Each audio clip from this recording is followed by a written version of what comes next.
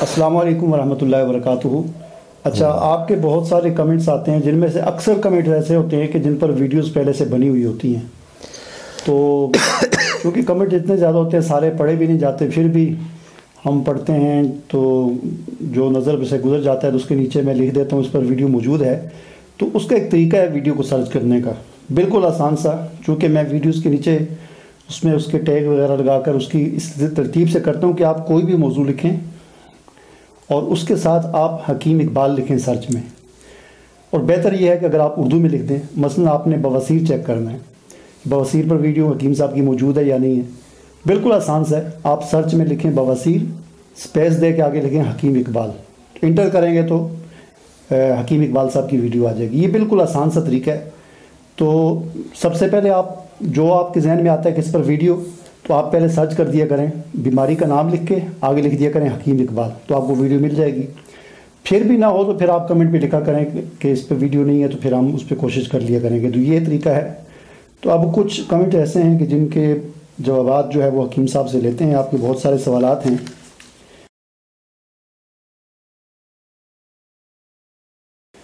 تو حکیم صاحب، ایک کسی نے پوچھا جی گردن کی نس دبنے کا علاج بتائیں۔ جی السلام علیکم۔ دیکھیں بھائی جان اس میں گردن کی نس جو دب جاتی ہے، اس میں ہماری ویڈیو موجود ہے پٹھوں کا بغیر دوائی علاج۔ تو اس جگہ سے میں نے دبایا، دبا کے بتایا ہے، یہ ہنسلی کی ہڈی ہے نا، اس کے اوپر اوپر ہاتھ پھیریں تو وہ ایک پٹھا آپ کو بڑا اکڑا ہوا محسوس ہوگا، اس کو انگوٹھے سے دبا لیں اور بازو اس طرح اٹھا دیں۔ وہ ہنسلی کی ہڈی کے اوپر نا آپ ہاتھ پھیر کر دیکھیں دونوں طرف۔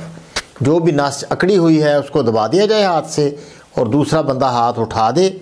یا خود بھی مریض ہاتھ اٹھا دے تو انشاءاللہ فوراً یہ ریلیف مل جاتا ہے مسئلہ حل ہو جاتا ہے۔ اس طرح آپ کرنے کی کوشش کریں باقی ویڈیو سے دیکھ لیں۔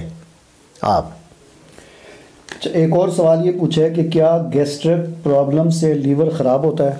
دیکھو یہ شاہ صاحب نے سوال کیا ہے کہ گیس کی زیادتی سے بھی لیور خراب ہو سکتا ہے۔ دیکھو یقیناً ہو سکتا ہے اصابی جب تحریک ہوتی ہے تو لیور جو ہے وہ لیور تحلیل ہو جاتا ہے۔ جگر جو ہے تحلیل ہو جاتا ہے۔ وہ اس کو بخار ہو جاتا ہے، اپنی حالت سے نیچے گر جاتا ہے۔ اس سے کام نہیں ہوتا ہے جگر ٹھنڈا ہی ہو جاتا ہے ایک طرح۔ ٹھنڈ ہو ٹھنڈ ہوتی ہے اصابی تحریک سے۔ تو جگر کے اندر وہ طاقت نہیں رہتی ذوف جگر اس کو ہو جاتا ہے۔ تو عضلات میں وہ ہوتا ہے اپنا، اس وقت تحریک اصابی ہوتی ہے۔ اور جگر کے اندر تحریر ہوتی ہے عضلات کے اندر تسکین ہوتی ہے۔ تو عضلاتی چیزیں دینے سے اس وقت اس جگہ، جیسے پھر فلاد دے دیا جائے۔ یا اپنا تین شدید دے کر فلاد اور تین شدید دے کر آپ جگر کو اپنی جگہ پر لا سکتے ہیں اور گیس کا مسئلہ بھی حل ہو جائے گا۔ تو گیس جتنی بھی ہے نا جی جگہ، جسم کے اندر ہوا کا پھنسنا، یہ تین نمبر، تین شدید، چار ملین اور پانچ ہاضم سے اعلیٰ درجے پر یہ حل ہو جاتا ہے، انشاءاللہ۔ تو یہ بھی ہرنیے کے موضوع پر میں نے یہ نسخہ بتایا ہے اس کا، بنانے کا طریقہ۔ وہ آپ وہاں سے دیکھ لیں۔ شاہ صاحب انشاءاللہ دے دیں گے۔ اس سے پہلے آ جائے گی ہرنیے کی۔ تو ہرنیے کے اندر یہ طریقہ بتایا ہے کہ ہوا، ہرنیہ بھی ایک ہوا ہی ہوتی، پھنسی ہوئی۔ تو وہ اس کو نکالنے کا طریقے کے طور پر یہ علاج کیا جائے۔ اچھا ایک ہمارے مہربان ہیں، انہوں نے بہت ساری ویڈیوز کے نیچے کمنٹ لکھا ہے جی گردے کی جو دوائی آپ نے بتائی تھی وہ میں نے کھائی اس سے مجھے کمزوری ہوگی نقصان ہوگی اور ویڈیو کے نیچے لکھا ہے اور بڑا مطلب برا بلا بھی کہتے رہے اور مطلب یہ تو اب ان کی ہے اس پہ ہم کچھ نہیں کہتے۔ بعض نیچے ہمارے احباب نے اس کو جواب بھی دیے کہ بھائی دوائی جو ہے نا وہ نبض چیک کرا کے ہوتی ہے۔ تو حکیم صاحب تو بتاتے ہیں حکمہ کو تو آپ نے اس طرح مطلب خالی پتہ نہیں آپ کی کون سی وہ تھی تو ظاہر اس سے شاید آپ کو نقصان ہوا ہوگا۔ بہرحال اس بارے تو دیکھیں بھائی جان اس دوائی سے نا جی پیشاب بھی زیادہ آتا ہے پخانہ بھی زیادہ آتا ہے۔ دیکھو پیشاب بھی بندے کو زیادہ آ جائے پخانے بھی دو موشن آ جائیں تو بندہ کمزوری محسوس کرتا ہے۔ تو اس کے اندر سالٹ موجود ہے اس سے صفائی تو بہت ہوتی ہے جگر کی نالیوں کی صفائی ہوتی ہے لیکن بندہ کمزوری بھی محسوس کرتا ہے۔ ایسی کمزوری جو ہوتی ہے اس کے لیے آپ لبوب کبیر لے لیں اور خمیرہ گوز بان سادہ امبری والا نہیں لینا لینا۔ امبری والا نہ لیں، خمیرہ گوز بان امبری والا یا جوہر والا نہ لیں، بلکہ سادہ لے لیں۔ تو آدھی آدھی چمچی صبح، دوپہر، شام کھائیں اور لبوب کبیر لے لیں۔ کسی بھی اچھی کمپنی کا یہ صبح، دوپہر، شام آدھا آدھا چمچ کھانے سے انشاءاللہ کمزوری نہیں ہوگی اور نقصان نہیں ہوگا۔ دوائی تھوڑی بہت جتنی آپ حسب برداشت جاری رکھیں، انشاءاللہ آپ کو فائدہ ہوگا۔ ایک اور سوال ہے کہ جی اسی طرح کا یہ ہے کہ چار ملین سے میدے میں جلن۔ چار ملین جو ہے ہمارا بہت زیادہ گرم مرکب ہے۔ اس سے جلن ہو جاتی ہے میدے میں۔ اس کے ساتھ دودھ اگر استعمال کیا جائے تو یقیناً بہت فائدہ ہوتا ہے۔ پانی تھوڑا زیادہ پیا جائے، دودھ بھی پیا جائے تو انشاءاللہ جلن نہیں ہوتی۔ ٹھنڈا دودھ تھوڑا تھوڑا کر کے پینے سے انشاءاللہ جلن جو ہے، وہ اپنا نہیں ہوگی۔ اور تھوڑا کم کر دیں۔ دوائی کی مقدار جو ہے، آدھا چمچ سے چوتھائی کر دیں۔ انشاءاللہ اللہ پاک آسانی کرے گا۔ فٹی لیور کے بارے میں پوچھیں فیٹی لیور کہ لیور کے اوپر ایک چربی ہوتی ہے، یہ بھی عضلاتی اصابی تحریک ہوتی ہے تیزابی تحریک۔ جب تیزابی تحریک ہوتی ہے، قبض شدید ہوتی ہے، پتے کے اندر پتھری ہوتی ہے، تو اس طرح کی بہت ساری علامتیں سر کے پچھلے حصے سے درد ہوتا ہے زبان جو ساری تیزابیت جسم کے اندر غالب ہوتی ہے، جگر بند ہو جاتا ہے، تو جگر جو ہے، اس کے اوپر چربی آ جاتی ہے۔ تو پانچ ملین ملین دینے سے چند دن دے دیں آپ۔ دس دن پانچ ملین دے کے چیک کرائیں انشاءاللہ لیور فیٹی نہیں ہوگا۔ ٹھیک ہو جائے گا انشاءاللہ۔ پانچ ملین کا نسخہ بہت دفعہ ہم نے تو اس کو دیا ہے کہ سونڈ سونڈ پچاس گرام نشادر تیس گرام کالی مرچ دس گرام سنا مکی اسی گرام۔ تو اس طرح یہ دینے سے فیٹی لیور جو ہے ٹھیک ہو جاتا ہے انشاءاللہ۔ اور کوئی؟ اچھا ایک صاحب پوچھ رہے ہیں کہ جی میرے منہ کا ذائقہ خراب ہے کسی چیز کو کا ذائقہ سمجھ نہیں آتا۔ ذائقے کی سمجھ نہ آنا۔ منہ کا ذائقہ خراب ہونا یہ اصابی علامت ہے۔ اور تین شدید، دو ملین اور تین شدید۔ دو ملین کیا ہے؟ اپنا آملہ دس گرام کرنجوا دس گرام، پھٹکڑی بیس گرام، کالی ہرڈ چالی گرام۔ یہ آدھا آدھا چمچ لیں اور تین شدید بھی، لونگ، دار، چینی، جلوتری۔ یہ دس دس گرام لے لیں۔ یہ بھی ایک چوتھا حصہ یہ لے لیں یا پانچ سو ملی والا کیپسول بنا لیں یا چلو آدھا چمچ یہ بھی ملائیں صبح، دوپہر، شام کھائیں تو انشاءاللہ دس دن آپ کھا لیں، منہ کا ذائقہ بہترین آپ کا ہو جائے گا۔ آپ دودھ دلیا کھیر برفی بیکری کدو پیٹھا ٹینڈا مولی گاجر شلجم سے پرہیز کریں۔ مچھلی کی کثرت کریں۔ مچھلی زیادہ کھائیں۔ ایک صاحب پوچھ رہے ہیں شاہ ٹیکا کا علاج بتائیں۔ دیکھو شاہ ٹیکا جو ہے شاہ ٹیکا جو ہے اس پر پہلے ہی لنگڑی کا درد اس پر ہماری ویڈیو موجود ہے۔ وہ لے لیں۔ وہ علیحدہ ابھی میں دو تین ہی چیزیں ہیں۔ ہرمل ہے اس میں بھنی ہوئی مصبر ہے اور سرنجا شیریں۔ یہ تین چیزیں لے لیں، اس کو برابر وزن لے کر پانچ سو ملی والا کیپسول بھریں۔ ایک، دو کیپسول ہر گھنٹے بعد دیں۔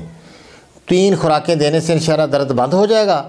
پھر ایک کیپسول صبح اور ایک شام۔ پہلے دو دو کیپسول ہر گھنٹے بعد دیتے جائیں۔ دو، تین خوراکیں دینے سے انشاءاللہ وہ سدھا جو ہوتا ہے اندر وہ شاٹیکا جو اس کی پین ہوتی ہے وہ ٹھیک ہو جاتی ہے۔ اکڑا ہوا مریض بالکل صحیح ہو جاتا ہے۔ پھر صبح شام دس، پندرہ دن آپ علاج کر دیں۔ انشاءاللہ یہ مسئلہ حل ہو جائے گا۔ لنگڑی کے درد پر ہماری ویڈیو موجود ہے۔ ایک عورت کو دست آتے ہیں تین سال سے۔ تو جب دست بند ہوتے ہیں تو پیٹ پھول جاتا ہے۔ دیکھو عورت کو دست آتے ہیں پیٹ پھول جاتا ہے۔ اگر بند کر دیا جائے قبض ڈالی جائے تو وہ یہ دراصل ہوتی ہے سابی تحریک سنگرینی والی تحریک ہوتی ہے۔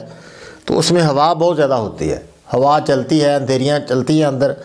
تو وہ اس کی ہوا روکا جائے۔ ہوا کو روکا جائے۔ یہ پیچس بھی انشاءاللہ رک جائیں گے۔ تین ہمارا شدید دے دیں اور چار اپنا تریا کے میدا دے دیں۔ تین شدید کیا ہے؟ لونگ دار چینی جلوتری۔ یہ پانچ سو ملی گرام والا کیپسول برابر وزن لے کر بھر لیں۔ صبح دوپہر شام دیں اور تریا کے میدا دے دیں۔ تریا کے میدا کیا ہے؟ اجوین سو گرام دیسی، پودینہ پچاس گرام کندک آملہ سار پچاس گرام۔ یہ بھی آدھا آدھا چمچ دینے سے انشاءاللہ اس سے پیچس بھی ٹھیک ہو جائیں گے ہوا بھی نہیں رکے گی۔ کیونکہ جس جگہ گرمی ہوتی ہے، وہاں ہوا نہیں ہوتی۔ یہ حرارت بڑھائی جائے۔ تحریک نمبر تین اور چار نمبر۔ دو، تین، چار۔ خوراک نمبر دو بھی دی جائے، تین بھی، چار بھی۔ اللہ پاک آسانی کرے۔ سب سے پہلے شاہ جی وہ نا یہ پرچہ آپ چڑھا دیں۔ خوراکی پرچہ جو ہے۔ خوراکی پرچے پہ ویڈیو میں نے بنائی ہوئی ہے۔ اچھا ہوئی ہے صرف خوراکی پرچے پہ اس کو میں نے پورا پڑھ کے سنایا ویڈیو موجود ہے۔ اچھا خوراکی پرچہ۔ لکھنا کیا ہے ادھر؟ بس وہ سرچ میں لکھیں خوراکی پرچہ حکیم اقبال صاحب تو۔ خوراکی پرچہ حکیم محمد اقبال۔ پہلے سے ویڈیو موجود ہے۔ ہاں پورا وہ میں اس سے اپنا خوراک لے ویڈیو دکھایا بھی ہے اور میں نے ساتھ ایک پڑھ کے سنایا کیونکہ وہ انڈیا سے ایک کیمٹ آئی تھی وہ کہہ رہے تھے اردو خوراکی پرچہ آپ نے دیا ہم اردو نہیں پڑھ سکتے آپ پڑھ کے سنایا تو میں نے اور کوئی۔ کمنٹس دیکھ لیں۔ جی گال پھٹنا۔ گال پھٹ جاتے ہیں دیکھو گال جو ہے نا سردیوں میں گال کا پھٹنا یہ بھی عضلاتی حسابی تحریک ہے۔ چار ملین دینے سے انشاءاللہ یہ مسئلہ حل ہو جاتا ہے۔ چار ملین کے اندر تھوڑی ویسلین ملا لیں۔ ایک چمچ چار ملین کا لے لیں دو چمچ ویسلین کے ملا کر رات کو لگائیں اور صبح دھو دیں۔ تو اس سے گال پھٹنا شروع بند ہو جائیں گے۔ حرارت بڑھا دیں اندرونی حرارت جو ہے نا جی چار نمبر تھوڑا ایک ہفتہ کھلا دیں۔ آدھا آدھا چمچ صبح دوپہر شام۔ تو انشاءاللہ گال نہیں پھٹیں گے۔ عورتوں کے چہرے پر بال اس پر بھی موجود ہے عورتوں کے چہرے پر بال اس پر پوری ہماری ویڈیو موجود ہے۔ وہ ہم نے دیا ہے اس میں نسخہ بھی دیا ہے۔ وہاں سے سرچ کر کے آپ نکال لیں۔ ایک صاحب کہہ رہے ہیں جی کھانا پینا نہ لگنا۔ کھانا پینا کھایا پیا نہیں لگتا بندہ موٹا تازہ نہیں ہوتا حالانکہ کھاتا پیتا بھی ہے وزن نہیں بڑھتا اس کا۔ تو یہ بھی ایک طرح اعصابی تحریک ہوتی ہے یا عضلاتی تحریک ہوتی ہے۔ تو اس میں آپ غدی اعصابی ہاضم جو ہمارا پانچ نمبر ہاضم ہے، وہ دینے سے انشاءاللہ مسئلہ حل ہو جاتا ہے۔ پانچ نمبر ہاضم کیا ہے؟ اپنا سونڈ نشادر، کالی مرچ مگا پپلا مول۔ ہر چیز دس گرام، پودینہ بیس گرام گندک آملہ سار چالیس گرام اور میٹھا سوڈا چالیس گرام، سونف چالیس گرام، ریوند خطائی چالیس گرام اور اپنا نمک، سفید، اسی گرام یہ ساری چیزیں باریک کر کے آپ آدھا آدھا چمچ صبح، دوپہر، شام لیں تو انشاءاللہ کھایا پیا بہت لگے گا۔ بھوک بھی آپ کو زیادہ لگے گی اور آپ موٹے تازے انشاءاللہ ہو جائیں گے۔ اسگند بھی اگر آپ لے لیں اسگند نگوری دو سو گرام لے کر صبح، شام کھانے سے کافی وزن بڑھ جاتا ہے، خوبصورتی بہت زیادہ آتی ہے۔ اللہ پاک آسانی کرے۔ اچھا اور کوئی؟ اچھا باقی بس انشاءاللہ جو ہے آپ کوشش کیا کریں گے کہ ہر دو تین دن کے بعد نا آپ کے کمنٹس کے جواب دے دیا کریں ہم۔ تو انشاءاللہ اس کی کوشش ہم کریں گے کہ ہر دو تین دن کے بعد کیونکہ کمنٹس پھر بہت زیادہ ہوتے ہیں بعد میں ان کو تلاش کرنے میں بڑا مسئلہ ہوتا ہے۔ آئندہ ہم کوشش یہ کریں گے۔ کوشش کریں گے کہ تمام کمنٹس نا ایک ہی ویڈیو کے اندر آ جائیں۔ وہ جو بھی آپ نے سوال کیا ہے اس کا ایک ویڈیو کمنٹس کے جواب جو ہیں ان کا انشاءاللہ سلسلہ آپ بنا لیں۔ ویڈیو نمبر ایک دو تین اس طرح کر لیں کمنٹس کی ویڈیو سوال وہ ہو جائے گا انشاءاللہ۔ ہاں جی۔ چلیں ٹھیک ہے ہمیں اجازت دیں۔ اللہ اللہ پاک آسانی کرے۔ السلام علیکم۔ too.